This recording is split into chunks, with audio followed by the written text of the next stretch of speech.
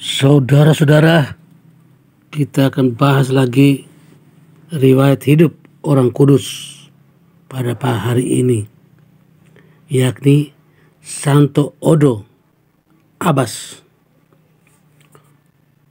Odo lahir sebagai karunia khusus dari Allah. Ayahnya seorang perwira militer Prancis. Terus berdoa memohon dari Tuhan seorang anak laki-laki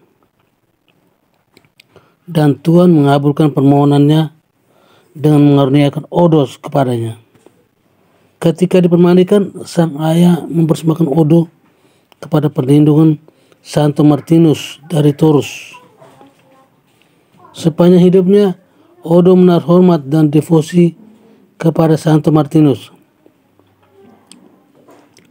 Ayahnya menginginkan Odo menjadi seorang kesatria yang tangkas menggunakan pedang.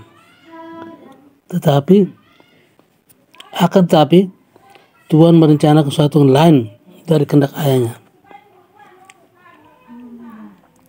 Kesehatan Odo terus terganggu dan karena itu tidak layak untuk menjalani hidup kemiliteran menjadi satu alasan yang kuat baginya untuk menolak rencana ayahnya.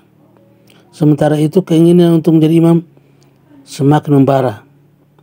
Akhirnya ia secara terbuka mengatakan keinginan dan cita-citanya itu kepada ayahnya. Lalu dengan restu ayahnya Odo berangkat ke Tours untuk menjalani pendidikan imamat.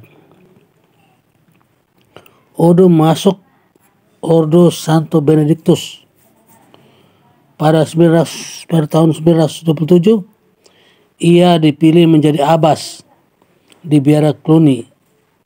Sebagai pemimpin biara, ia bersikap tegas dalam hal pemelaksanaan aturan-aturan hidup pembiara.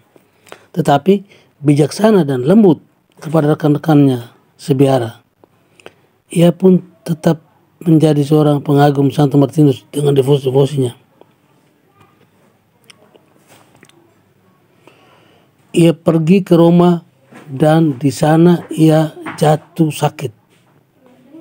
Ia segera kembali ke Tours karena keinginannya untuk meninggal di sana dan dikuburkan di samping Santo Martinus. Ia tiba di Tours tepat pada pesta Santo Martinus.